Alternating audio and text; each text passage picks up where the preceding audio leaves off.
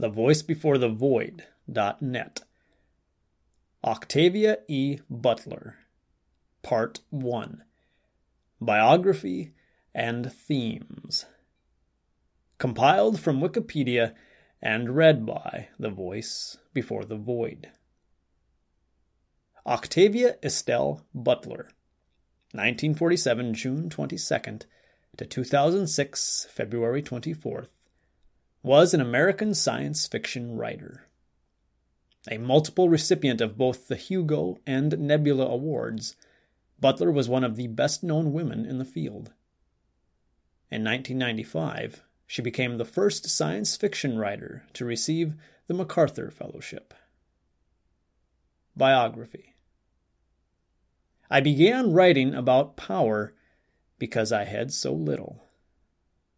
Octavia E. Butler and Carolyn S. Davidson's The Science Fiction of Octavia Butler.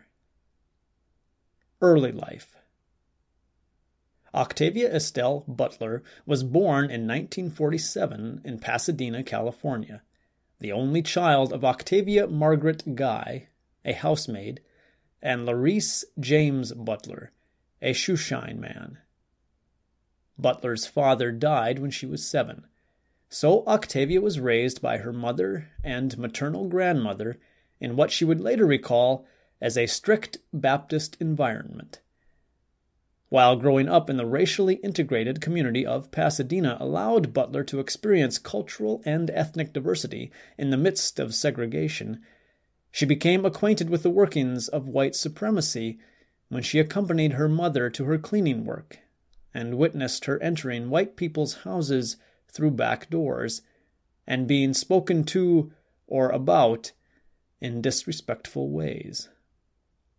Many times, Butler's mother would bring home books and magazines the white families had discarded for her young daughter to read.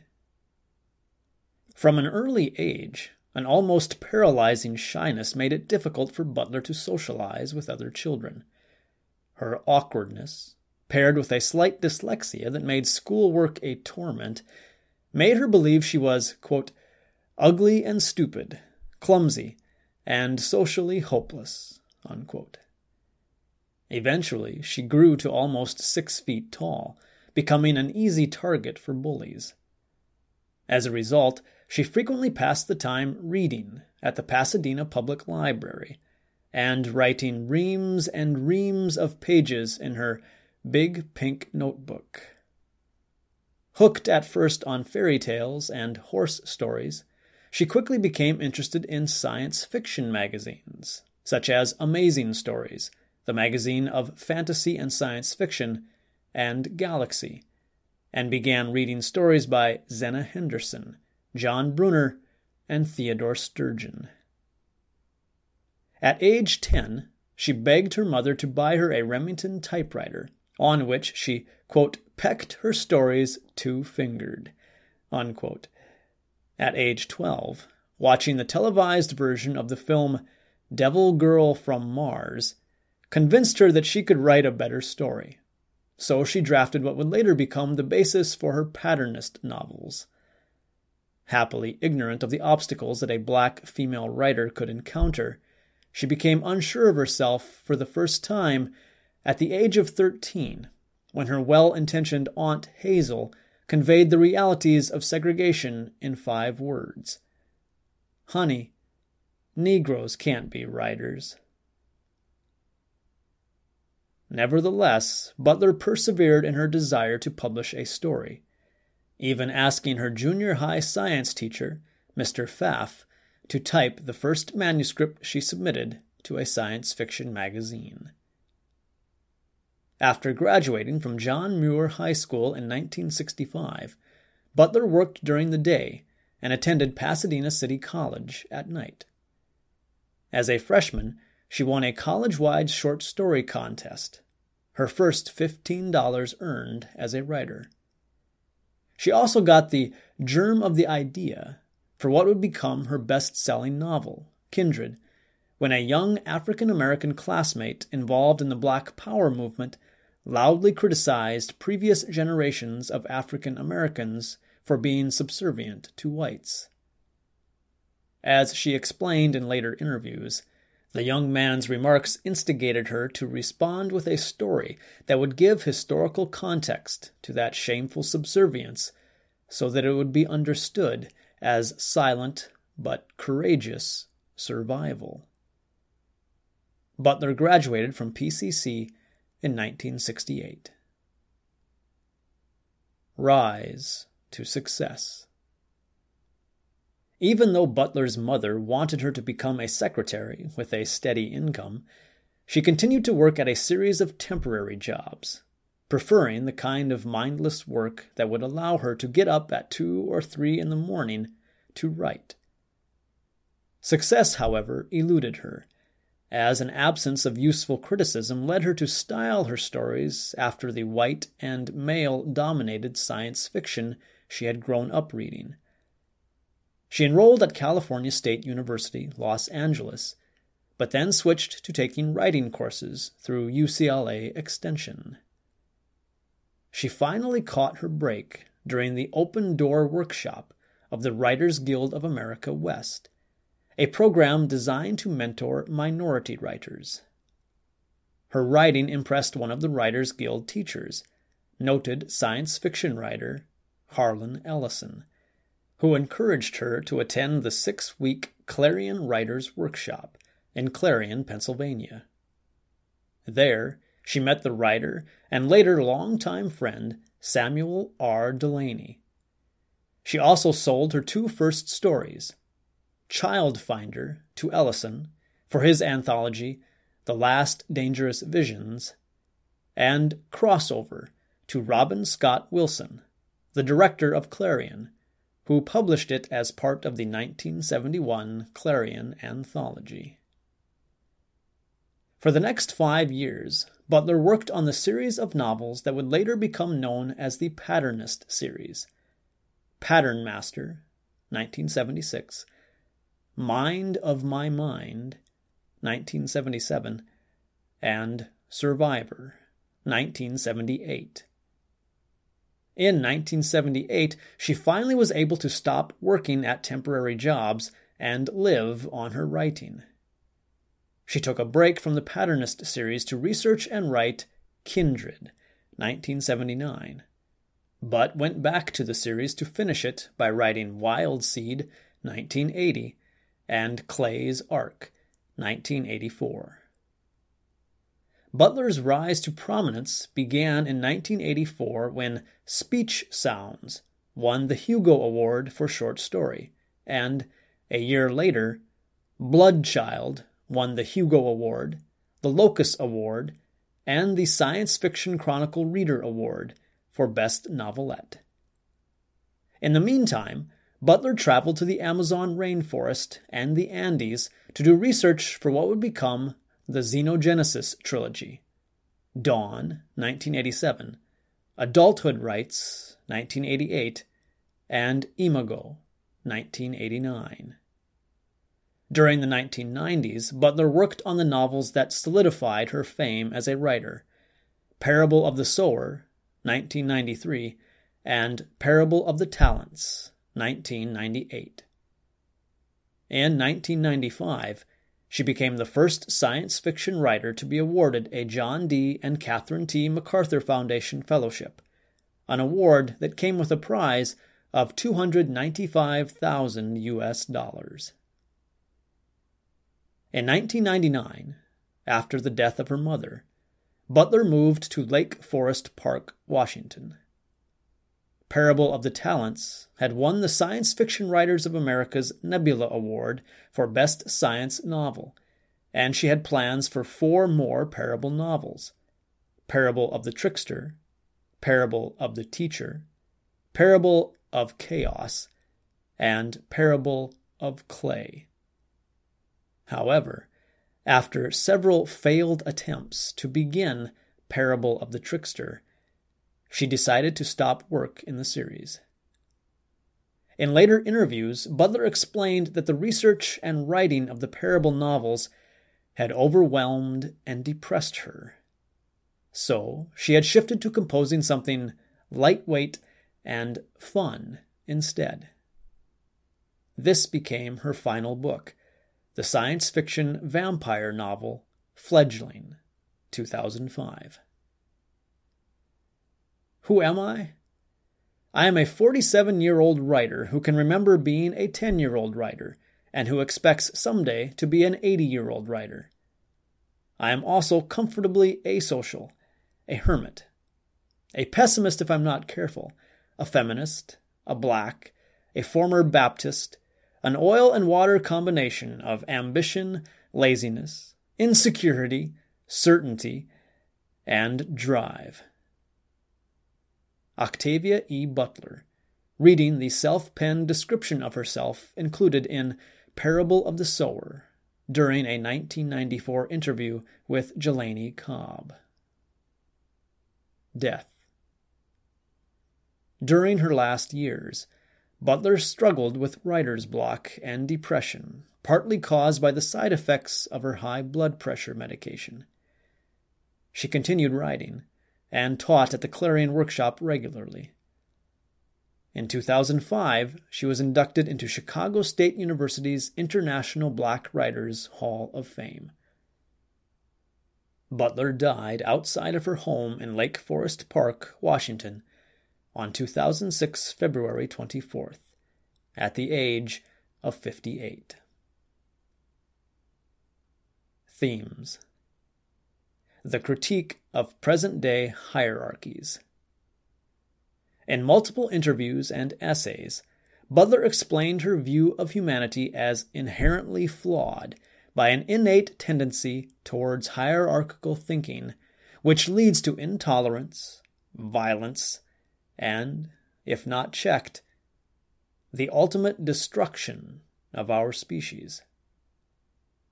Quote, Simple peck order bullying, unquote, she wrote in her essay, A World Without Racism.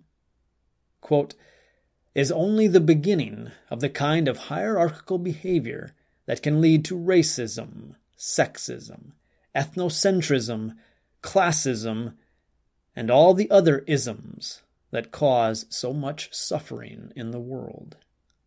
Unquote. Her stories, then, often replay humanity's Darwinian domination of the weak by the strong as a type of parasitism. These superior beings, whether aliens, vampires, superhuman, or slave masters, find themselves defied by a protagonist who embodies difference, diversity, and change. So that, as John R. Pfeiffer notes, quote, in one sense, Butler's fables are trials of solutions to the self destructive condition in which she finds mankind. Unquote. The remaking of the human. In his essay on the sociobiological backgrounds of Butler's Xenogenesis trilogy, J. Adam Johns describes how Butler's narratives counteract the death drive behind the hierarchical impulse with an innate love of life, biophilia, particularly different, strange life. Specifically, Butler's stories feature gene manipulation, interbreeding, miscegenation, symbiosis, mutation, alien contact, non consensual sex, contamination, and other forms of hybridity as the means to correct the sociobiological causes of hierarchical violence. As DeWitt Douglas Kilgore and Rani Samantrai note, quote, in Butler's narratives, the undoing of the human body is both literal and metaphorical, for it signifies the profound changes necessary to shape a world not organized by hierarchical violence. Unquote. The evolutionary maturity achieved by the bioengineered hybrid protagonist at the end of the story, then, signals the possible evolution of the dominant community in terms of tolerance acceptance of diversity, and a desire to wield power responsibly. The survivor as hero. Butler's protagonists are disenfranchised individuals who endure, compromise, and embrace radical change in order to survive. As Kilgore and Samantrai note, her stories focus on minority characters whose historical background makes them already intimate with brutal violation and exploitation, and therefore with the need to compromise in order to survive. Even when endowed with extra abilities, these characters are forced to experience unprecedented physical, mental, and emotional distress and exclusion to ensure a minimal degree of agency and to prevent humanity from achieving self destruction. In many stories, their acts of courage become acts of understanding, and in some cases, love, as they reach a crucial compromise with those in power.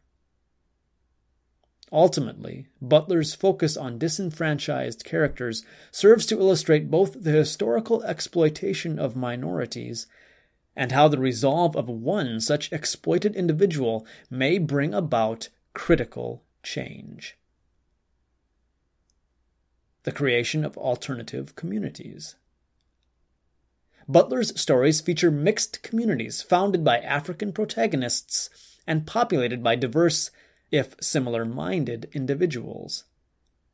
Members may be humans of African, European, or Asian descent extraterrestrial, such as the Nitlik in Bloodchild, from a different species, such as the vampiric Ina in Fledgling, and cross species, such as the human Oankali, Akin, and Jodahs in the Xenogenesis trilogy. In some stories, the community's hybridity results in a flexible view of sexuality and gender, for instance, the polyamorous extended families in Fledgling. Thus, Butler creates bonds between groups that are generally considered to be separate and unrelated, and suggests hybridity as, quote, the potential root of good family and blessed community life. Unquote. Relationship to Afrofuturism. Butler's work has been associated with the genre of Afrofuturism, a term coined by Mark Dery to describe, quote, speculative fiction that treats African American themes and addresses African American concerns in the context of 20th century techno culture.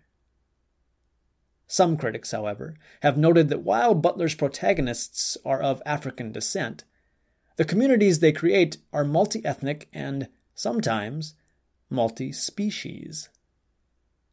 As Kilgore and Samantrai explain in their 2010 memorial to Butler, while Butler does offer, quote, an Afrocentric sensibility at the core of narratives, her insistence on hybridity beyond the point of discomfort, unquote, exceeds the tenets of both black cultural nationalism and of white dominated liberal pluralism. Critical reception.